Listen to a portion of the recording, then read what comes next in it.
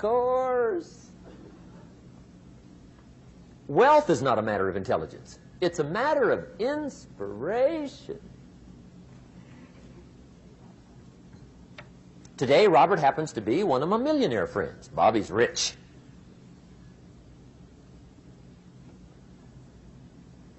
Frank Sinatra said one time, the best revenge is massive success.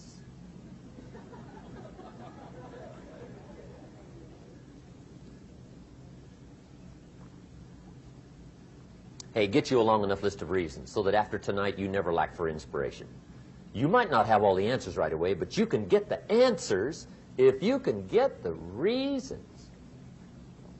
Now, let me give you a little simple formula for goal setting. Okay? We take two, two and a half hours on the weekend for the whole 10-year plan. We don't have time for that tonight. But let me get you started with a little simple formula Mr. Shoaff gave me. And maybe this will be helpful. First of all, I've divided goals into two parts. First is long range. Long range goals. That's your dreams. Your dreams for the next 3, 5, 10, 20, 30, 40 years. Actually, the rest of your life. Your dreams.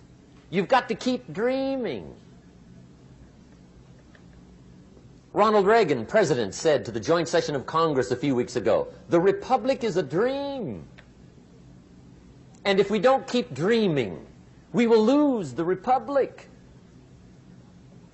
Your better future is a dream for yourself and for your family. Where do you want to go? What do you want to do? What do you want to be? What do you want to see? You've got to dream dreams. There's a Bible phrase that says, without dreams and visions, people perish. You've got to have something to go for that inspires the heart and the soul. Dreams. From the children of Sanchez, it says, take the crumbs from starving soldiers, they won't die. Take the bread from hungry children, they won't cry. But without dreams, we all will die. You've got to dream. Don't lose your dreams for yourself, for your future, for your family, the dreams of love and enterprise and travel and doing things, becoming something unique on your journey here. Don't lose your dreams. Do some dreaming. That's long-range goals. You've got to have those. So that's number one. Here's the second part of goals, short range.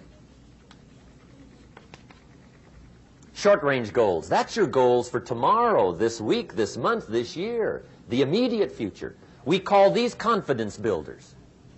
Because if you set up something short range, go for it, get it, latch, latch onto it, work hard, accomplish it. That starts building your strong feelings to go for your dreams. Now, I've divided goals into three categories. Here they are. Number one is economic. That's your goals for money, income, business, profits, production. Economics. Make sure you've got your economics well planned. Economics plays a major role in everybody's life.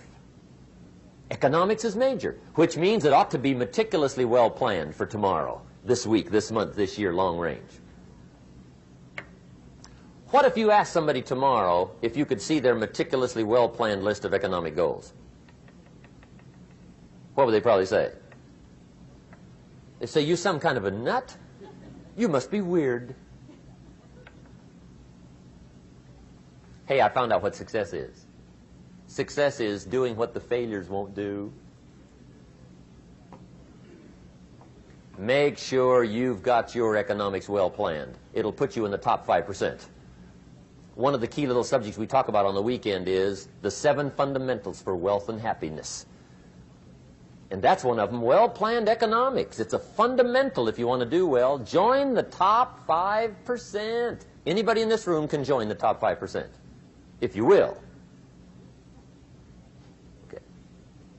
Now here's the second category of goals, things. Make a list of the things you want. And on my list of things, now I put everything. Little things as well as major things. Doesn't matter how small it is, it goes on my list. I used to just put major things, cars, homes. I don't do that anymore. I now load my list with everything. Everything. And the reason is part of the fun of having a list is checking it off. That's it. Boy, at the end of the day, if you can go, got it, got it, got it, got it, got it, got it, whatever it is, right? You get into the habit. So load up your list, the things you want. Now, when you check off something major, celebrate. That's an important point to make. Celebrate your achievements. Live it up. Have a party when you reach something you've worked for for a while. See, we all grow from two experiences. One is called the pain of losing. The other one is called the joy of winning. We need both of them. Amplify them as much as you can, which also means make losing painful. If you set up something, fooled around, didn't get it, put it on yourself. On the other side, if you did get it, congratulate yourself. Self-congratulations is a sign of maturity. Seeking congratulations is a sign of immaturity. But hey, winning and losing, see, that's what it's all about. That's the name of the game. Now, some people lead such mediocre lives, at the end of the day, they don't know whether they're winning or losing. They got no clue. Guy's just going through the day with his fingers crossed. There's a better way. Okay, here's the third category of goals personal development.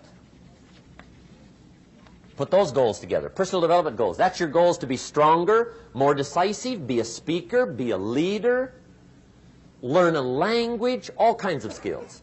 Okay? The whole weekend seminar was designed to improve all your skills so that you walk away more skillful. And that's what you want, the personal development skills. That's what attracts, that's what brings good things to your life, the person you become more skillful. Now, this is quite a package to work on. Economics, things, personal development. For tomorrow, this week, this month, this year, long range. Okay? That'll get you started. Now, here's the simple formula for setting goals. It goes like this. A, work on your goals. That's step one. Work on them. And I put the word work there deliberately. Setting goals is plain hard work. I don't want to kid you. We haven't come here tonight to kid each other. It's work. I know it's work. That's why a lot of people just let it slide. It's work. Many people work hard on their job, but they don't work hard on their future. They just let that slide. And the work involved is making plans. I know most people don't. I understand that. But don't let that be you. Guy says, well, yeah, you work where I work, but the time you struggle home, it's late. You've got to eat a bite of supper, watch a little TV, get to bed. You can't sit up half the night. Plan, plan, plan. And the guys be behind. Good worker, hard worker, sincere. But you've got to be better than sincere, working hard. You got to be better than a good worker. You got to be a good planner. Somebody once wisely said, the people who fail to plan are planning to fail. Well said. So work on your goals. Here's step two. Write your goals down. That's so important. I teach my staff around the world Put your goals in your journal. Because one of the major people you want to study is yourself. Say, here's the list of goals I put together three weeks ago. Here's the list of goals I put together two years ago. Here's some of the changes I made, rearranging of my priorities. I scratched these off. I put these on. I've gotten these. Study your accomplishments. Study what your desires are. Put them on paper. Write them down. Here's another reason for writing your goals down. It shows you're serious about doing better. And to do better, you got to get serious. You don't have to be grim, but you must be serious. Everybody hopes things will get better. Everybody hopes. Poor people hope. That ought to tell you something. It means the future does not get better by hope. It gets better by plan. I used to have the affliction called passive hope. It's an affliction. It's bad. Probably what's even worse than that is happy hope. Now that is really bad. That's bad. Happy hope. The guy's 50 and he's broke and he's still smiling. See, that's not good. So get serious about your goals. Put them on paper. Write them down. There's all kinds. His goals, her goals, their goals. Business goals, financial goals, financial independence goals, family goals. I mean, there's so many things to work on on this that if you don't get busy and work on it, sure enough, the time will pass. And sure enough, five years from now, you'll wind up where you don't want to be, wearing what you don't want to wear, driving what you don't want to drive, being what you don't want to be. Now's the time to fix it. Now, here's the third step to your goals. Check the size of your goals and the kinds of goals. How big they are, what kind they are, affects you. And here's one of the important phrases of the evening. Your goals are affecting you, whatever they are. Your goals affect your handshake. Your goals affect your attitude, personality. Your goals affect the way you walk, the way you talk, the way you dress. All day long, we're being affected by our goals. Now, some people have goals, but they have such lousy goals. The effect is bad. I asked a guy one time, what are your goals for this month? The guy said, look, if I could just scrape up enough money to pay these lousy bills. That was his goal. I'm not saying it isn't a goal. It's a goal, but it's such a lousy goal, the effect is bad. You don't jump out of bed on Monday morning and say, oh boy, another chance to go out and scrape up the money to pay my lousy bills. See, you don't do that. Usually you say, oh, not another Monday.